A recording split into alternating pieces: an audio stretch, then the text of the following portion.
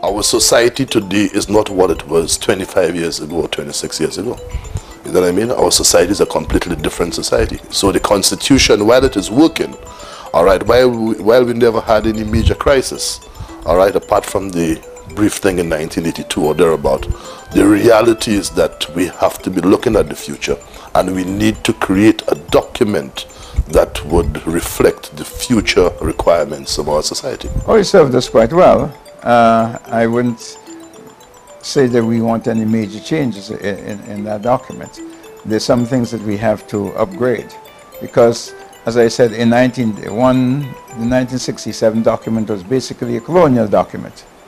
Uh, it was based on a colonial structure. Now we have to look at that again. After 30 years, I think that we have to look at this document and see whether we can, we can upgrade it to suit the, the needs of the times.